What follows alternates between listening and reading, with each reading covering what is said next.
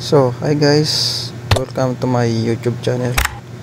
Today video ay i-share ko lang kung paano pagkuha ng certified true copy ng ORCR ng first owner. Number 1, punta ka sa mother unit ng motor mo. Halimbawa sa akin, 13 o mother unit ng motor ko. Mga dapat dalhin or Xerox copy only. Notarized deed of sale ng kasunduan nyo ng may-ari ORCR. Government valid ID mo with 3 signature specimen. Government valid ID ng may-ari. Pag nakompleto mo na, abot mo na yan sa window 9. Then wait for 40 minutes depende sa dami ng client. Salamat. I hope nakatulong. Thank you. Subscribe, follow, like, and share.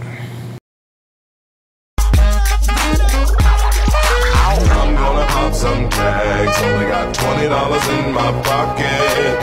I'm, I'm hunting, looking for a come up. is